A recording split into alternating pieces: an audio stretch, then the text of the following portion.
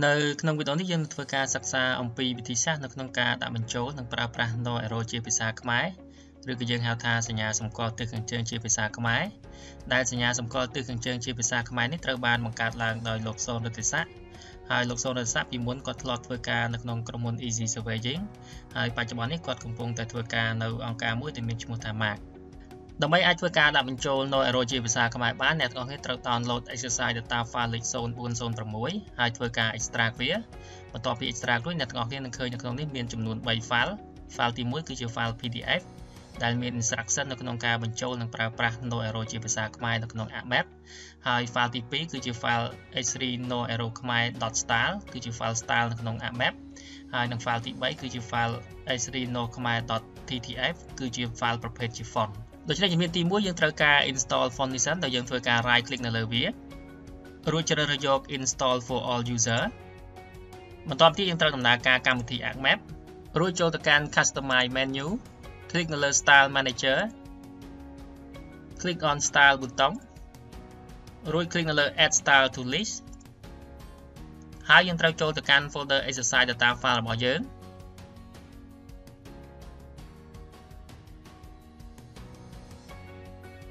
select នៅលើ file ដែលមានឈ្មោះថា h3no.khmer.style រួច click open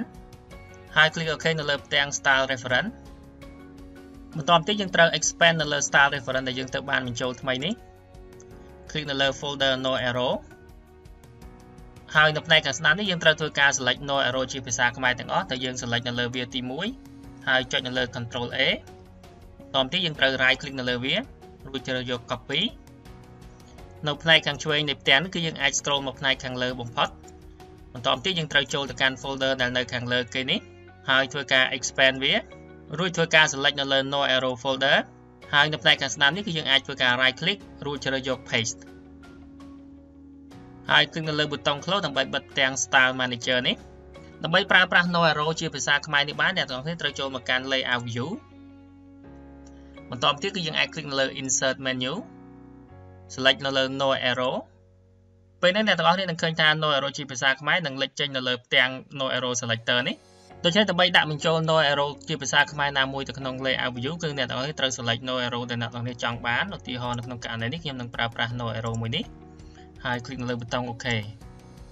ពេលនេះអ្នកទាំងអស់គ្នានឹងឃើញថាយើងនឹងទទួលបាន no arrow ជាភាសាខ្មែរបើសិនជាអ្នកទាំងអស់គ្នាចង់ធ្វើការផ្លាស់ប្ដូរពណ៌របស់វាគឺយើងអាចធ្វើបានដោយយើងធ្វើការ right click នៅលើ no arrow នេះ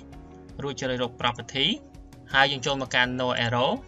ហើយនៅត្រង់ color នេះគឺយើងអាចធ្វើការផ្លាស់ប្ដូរពណ៌របស់វាបានឧទាហរណ៍នៅក្នុងករណីនេះខ្ញុំជ្រើសយកពណ៌ក្រហមហើយគ្លិកលើប៊ូតុង OK បើសិនបើអ្នកទាំងអស់គ្នាចង់ធ្វើការហៅបញ្ចូល no arrow ជាភាសាអង់គ្លេសវិញគឺអ្នកទាំងអស់គ្នាអាចធ្វើបានដោយយើងចូលមកកាន់ insert menu គ្លិកលើ no arrow រួចគ្លិកនៅលើ more style ហើយយើងត្រូវការដក tick ចេញពី no arrow style ដែលយើងបាន add បញ្ចូលមកនេះបន្តទៀតអ្នកទាំងអស់គ្នាអាច scroll មកផ្នែកខាងក្រោម ពេលនេះយើងនឹងឃើញថាយើងនឹងទទួលបាន no arrow ជាភាសាអង់គ្លេសនិងភាសាខ្មែរនៅលើផ្ទាំងជាមួយគ្នាឧទាហរណ៍នៅក្នុងករណីនេះខ្ញុំធ្វើការហៅបញ្ចូល no arrow ជាភាសាអង់គ្លេសនេះដែលមានឈ្មោះថា h3 no 19 select នៅលើវាហើយយើងคลิกលើប៊ូតុង OK